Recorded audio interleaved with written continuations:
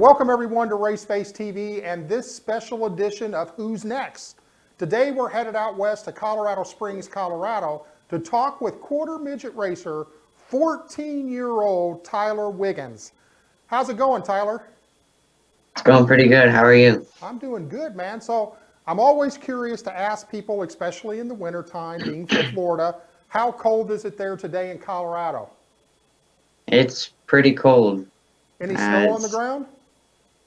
No, but it's just it's really chilly outside. Really chilly outside. But the good thing is for you guys, you wouldn't have to drive very far to find snow. So you get up in the mountains, and I'm sure there's all kinds of snow up there. So let's get right into this interview. So, at what age did you actually start racing?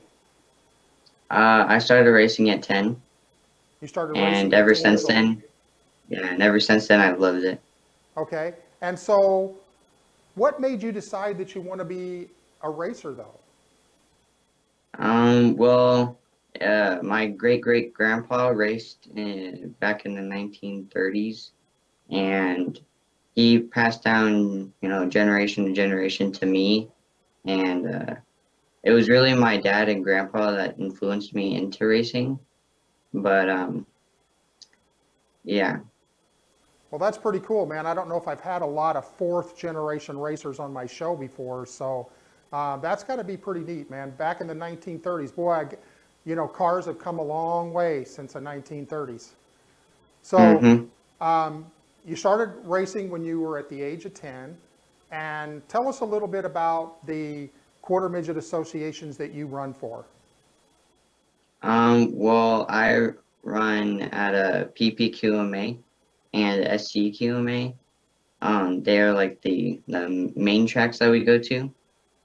Um, and they're uh, located in Ellicott, Colorado and Pueblo, Colorado. Right. And for those people that don't know what that is, that's the Pikes Peak Quarter Midget Racing Association and the Southern Colorado Quarter Midget uh, Racing Association. And we've got a lot of our race face drivers that actually run there at those tracks with the Colbys and uh, with Colby and Justice Sokol and also um, uh, Cassidy Hines runs there. So um, let me just ask you straight up, what is your favorite race track to compete on? Um, my favorite would probably be PPQMA or SCQMA. I, I really like those tracks. You know. Yeah, and you may you may have a different um, answer for that as we get uh, into next year because I understand that you guys are going to be doing a lot of the uh, hitting a lot of the major USAC races. So you're going to be going to places like Daytona and maybe up to Pocono and Indianapolis and down in Mhm. Texas. So you, you got to be excited about that. Oh yeah, very excited. All right, so I see a lot of hardware behind you, you know, um, so I know that you've done some race winnings and you've got something hanging around your neck there. Could tell us a little bit about that? Oh, this was uh the medal from PPIR um that I got. Uh, it it means a lot because I started all the way from the back and raced up to second, and that that was that was really exciting for me. Well, that sounds like an unbelievable performance because one of the things that we, we try to make sure that people understand is that it's not always about your results as much as it is about your performance. So, you know, if you started first and you won the race, that's good. That's a good result. But doesn't mean that you had a great performance that race unless you lapped the field. But starting at the tail end of the field and working your way all the way up to a second place finish is an amazing performance, and I congratulate you for that. Thank you. So let's talk about some of the classes that you race in. Um, I, I think you told me you run in either two or three different classes, and which classes are those? Um, I run in heavy animal and light slash heavy world formula. Okay, and so when you say light slash heavy world formula, does that mean that you're they're taking the light world formulas and the heavy world formulas and combining them into, or do you Um, actually run two different divisions? Well, I was running light, but for right now, I'm switching into heavy, and we might we might switch back and forth. It it you know. All right. So of the two classes, are you are you more favorable to the animal division or are you more favorable to the formula division? Um, I think the animal. I don't know, just something about it. I just like it. Now, I never ask anybody this question, so I hate to put you on the spot. Where did they come up with the name animal for that class? Any idea? Um, I have no idea, but it, it definitely sounds like an animal. It's- I mean, I didn't know if the engine was so, you know, so bad that it was kind of like, oh man, this is like the animal class, or again, you said it could be the sound of the car. But I just hate to put you on the spot, but I've always been curious about that. So I understand that you have a nickname. So what do people call you? um, Iceman. The Iceman. And where in the world did that come from? Um, well, my mom and dad, they uh, they usually call me Iceman because when I'm on the track, I'm my emotions are cold as ice and I'm cool and collective. Um, but also it's from my favorite movie, Top Gun. All right, well, that's, that's pretty neat that, that you kind of got that from Top Gun, but I'll give you a little homework. Do some research about a NASCAR, very famous NASCAR driver and champion. His name was Terry Labonte, and he was actually called the Iceman as well. So you may read up on him a little bit and find out that you guys got some things in common. I know you both have, Terry had a brother, and you have a brother also that races. Mm-hmm. All right, so in each one of our shows, we do a little segment that's called Get to Know the Driver in 60 Seconds. So it's a little game. Are you ready to play? Yeah. Okay, here we go. What's your favorite food? Uh, chicken nuggets. Chicken nuggets. Favorite video game? Um, any of the Madden. I just love football. Okay. Favorite TV show? Uh, full slash Fuller House. Okay. Favorite color? Orange. Favorite superhero? Flash. Because the, fa- the Flash is fast. Is that it? All right. Mhm. Good answer. Uh, favorite subject in school? Math. Favorite racing series? Uh, NASCAR Cup. Favorite race car driver? Um, all time Dale Jr. and Dale Sr. But right now, Kyle Larson. Kyle Larson, because he's kind of on the same path that you are, right? Kyle started down Yeah. with quarter midgets and then went to micros. And uh, so let me ask you, do you run the wall? Do you run like that far off the wall like Kyle does? Yeah, All right, I'm I'm on the outside. there you go. Okay, so give us a quick rundown of your racing career. Just kind of walk us through some of the bigger races that you've won and if you've won any local track championships or anything like that. Okay. Well, I started in uh, 2010, and I ran my first uh, um, series there. Um, we didn't really finish like we wanted to, but then coming into the next season, uh, um, we finished, I believe, fourth. And then in my third season, uh, I had a senior Honda championship and a light uh, 160 championship, um, and runner up for light world formula. All right, that's awesome, man. So let me ask you something. I want you to kind of look back and tell me what it was like to win your very, very first race.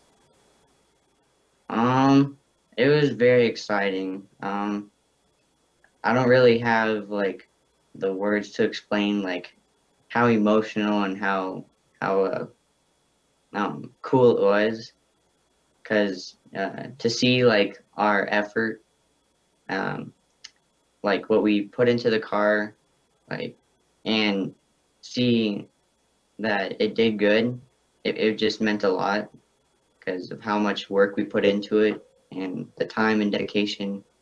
Um, but yeah, it was a, it was, it was an experience. You know, and that's something that will never change. I mean, if you watch the cup race this weekend, you saw Joey Logano, and he got a little emotional about, because again, it's been a long journey for him. And uh, you go through your ups and your downs, and, and then when it's finally there, I mean, you think you're ready for it, but then the emotions just kind of take over and you almost become kind of speechless. So, is there anything better than taking that victory lap with the checkered flag after a race? I mean, that's that's got to be high up on the. Nothing is better than that. That's, yeah, that's like the, that's like the top thing. The top thing. I, I would imagine that. So have you had anything interesting that's happened in any of your victory laps? Um, no, not really. I just, you know, take the checker flag and go around. All right, okay. So let's talk about your most memorable race win, and where was that actually at? Um, my most memorable race was at the Sky High Nationals of 2017. Um, I was in my senior Honda class and uh, um, I won that, and that was that was really exciting because again, we we had a tough going, so the past weeks was very hard for us, and to see our work show again on the racetrack was um, it was definitely an, an amazing, um, memorable race. Right. Let me ask you something. Do you do a lot of work on the car yourself? Uh, yes. Okay. You just seem like that kind of guy that would be in there getting his hands dirty and working on the car. And I know we talked a little bit about the show, uh, before the show, I mean, and, and you guys actually run a belt on your drive line Mhm. instead of a chain. So tell me why you think, and this is a good opportunity here, it's kind of like your own little uh, Wiggans belt commercial. Why is a belt better than a chain? Um, well, uh, a belt is, in my opinion, better than a chain because, like, you don't really have those slip ups that you do with chains. And, um, chains usually break a lot, and our belt drives, they're, they're, um, firm and stiff. So, I mean, they won't really slip or break up. So,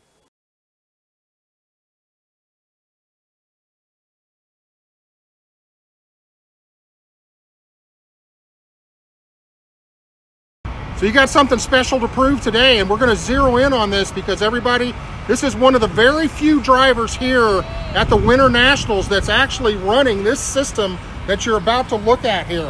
We're going to take a look at it from the back of the car. Now you see a lot of people having to put the chains back on the cars. Well, guess what?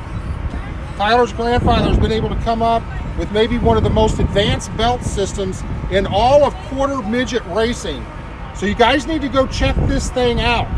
This could be the future of quarter midget racing, along with some other things that are going on. So let's get see if we can get in and get a little bit better look at this.